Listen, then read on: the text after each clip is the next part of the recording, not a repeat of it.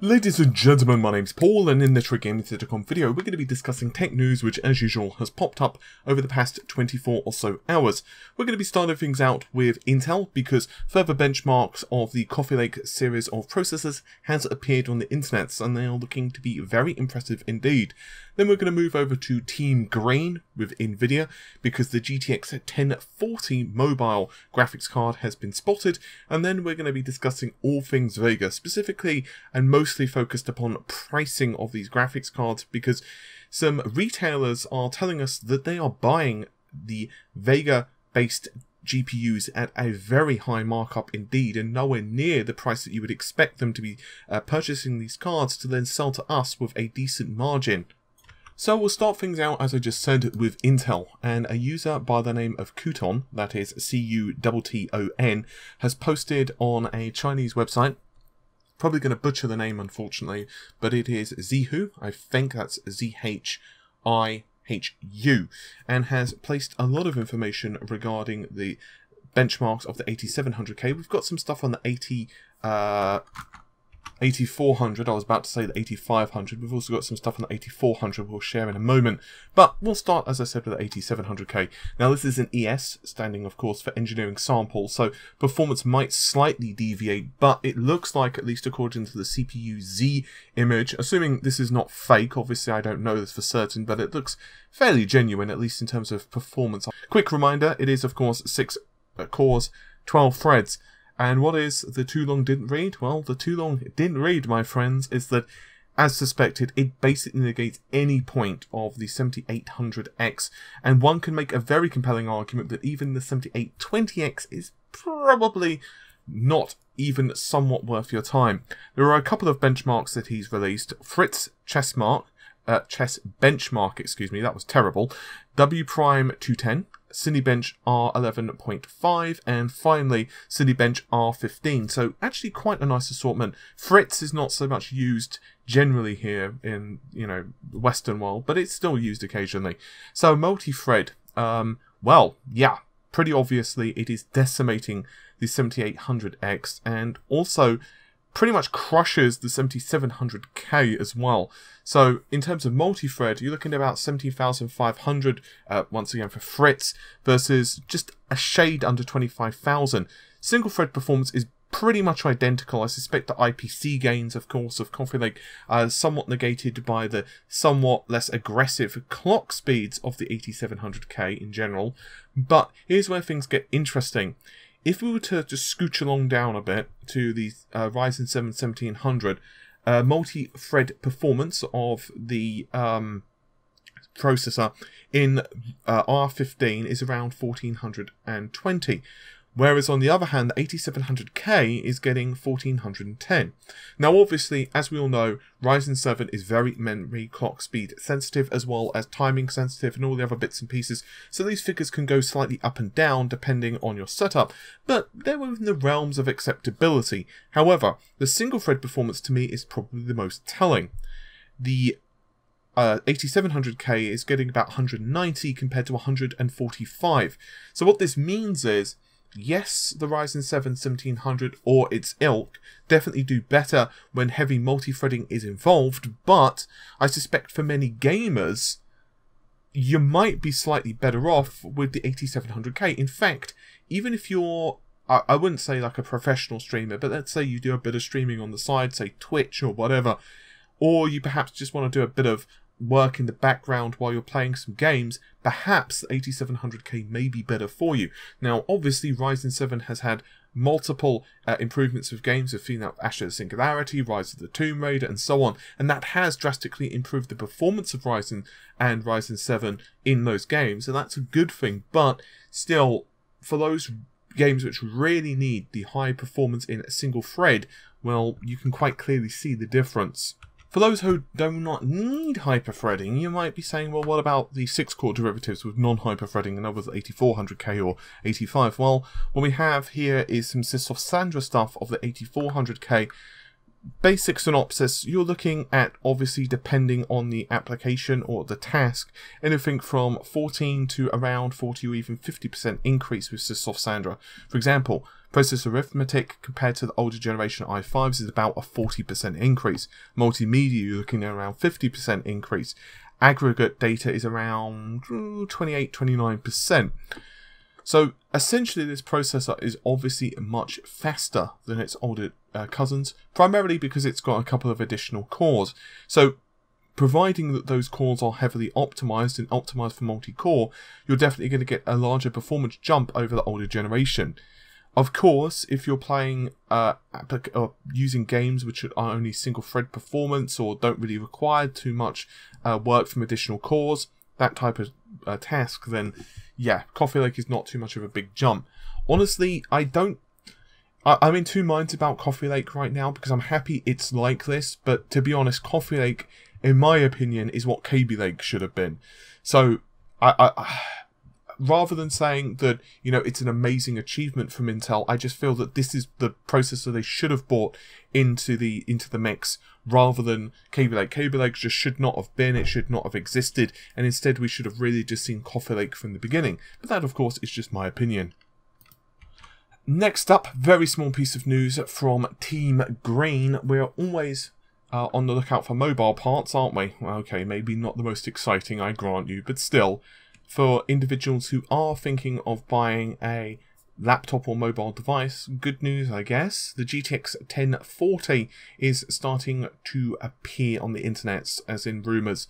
We already have the IdeaPad 320S, and supposedly it's going to be the first laptop with it. Information on the specifications are somewhat thin on the ground, but Lenovo's new laptop overall is going to sell for about 760 euros. That comes with an i5 8250U, 8 gigabytes of RAM, a 256 gigabyte SSD, and of course the topic, which is the NVIDIA GeForce G, uh, 1040. Honestly, I I'm always really kind of dicey about recommending these type of graphics cards for even light gaming because typically and obviously might be wrong, but typically when you're in this kind of price realm, I'm best basically the difference in price between like a 1040 and maybe a 1050 kind of equipped laptop may not be that big of a deal. Obviously, we're going to have to wait for battery tests and that type of thing to see if it's worth it, because maybe if gaming isn't really your thing, but in which case I would suggest just having like a basic integrated uh, graphics card anyway, unless perhaps you need something like this for I don't know, 3D acceleration or perhaps CUDA acceleration of like Adobe Premiere and stuff like that. Even so, let's face it, this type of laptop with 256 gigabyte SSD, not ideal for that type of work anyway. Um, well, I guess we're going to talk about Vega again, and the pricing subject is just absolutely ridiculous at this point. So, we all know that one of the big problems with Vega is HBM2, and I could do an entire video on this topic alone. Um, because I've got a lot to say, to be honest, when it comes to HBM2 and the choice for Vega, but too long didn't read, we've got it now. Not too much to be done about it. However, it is considerably more expensive than GDDR5. Obviously, we don't have an exact estimate because AMD are not saying, hey, well, this it's costing us this much. But, you know, most people would say it's at least about two and a half to three and a half times more expensive than the equivalent GDDR5. Admittedly, GDDR5 and GDDR5X have gone up a little in price, and that's putting it mildly. So there is that to take into consideration. But basically, AMD bet that HBM2 would be cheaper by now than what it really is. So many are saying, and I don't know this for certainty because obviously I'm not AMD and I'm not peeking into their shipping manifests and financial records, but many are suspecting that the margins for Vega are not exactly ideal. And this is not helped by, of course, the fact that the cards are very difficult to produce. Specifically, by the cards, I mean the actual, well, the GPU, the actual chips. That combined with the shortages of HBM2 memory, and you get the idea, it's essentially causing the cards to be fairly difficult to, to produce uh, limited quantities are available, and it's just not ideal for anyone. So, um, accordingly, a website by the name of Tech Power Up have put out an article, and they are telling us that retailers may not be the ones who are quick to make a buck. And this does actually fairly well match up with stuff that OC UK and a couple other retailers have said as well. There are a couple of leaked invoices which are doing the rounds. They've managed to get one of these. Uh, these are basically supply inventory, uh, supply invoices. Uh, which would be sent to retailers. So obviously retailers just don't get these things magically appearing. Much like if you were to buy something from say Amazon, you get, you know, that nice slip to say, hey, this is how much you spent, this is the item you've got, so on. This is obviously for tax purposes and just so you've got, well, you know, a record of your purchases. Much the same, of course, is for retailers. And apparently, even they are indeed fa- uh, facing inflated prices. Now, there's a website, uh, sorry, a retailer by the name of Mar Laboratories. It might be MA Laboratories, but I'm going to say it's Mar Laboratories. And they are quoting 675 US dollars for a reference design. I just want to stress that reference design RX Vega 64. Now, bear in mind, this is the not limited edition version. This is not a water cooled version. This is not the version that's going to make you coffee in the morning and, you know, give you a foot massage. This is just a standard basic card. Now, this is pretty much stating obvious, but let's say you're a retailer and you are being quoted $675 per unit. And you do what? I mean, you can't sell that for $500, right? Which is, of course, the launch price.